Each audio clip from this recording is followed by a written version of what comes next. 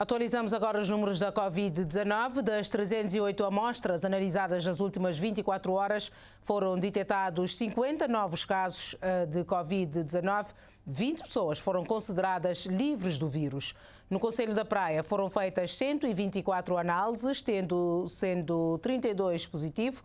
Com os 15 recuperados de hoje, o Conselho conta agora com 117 doentes à espera de alta médica. São Domingos e Santa Catarina de Santiago registraram quatro casos cada, Sal tem três, São Vicente e São Lourenço dos Órgãos têm duas novas infecções cada, Ribeira Grande de Santiago e São Salvador do Mundo e São Miguel registraram todos um caso cada. O país conta assim com 184 casos positivos de SARS-CoV-2.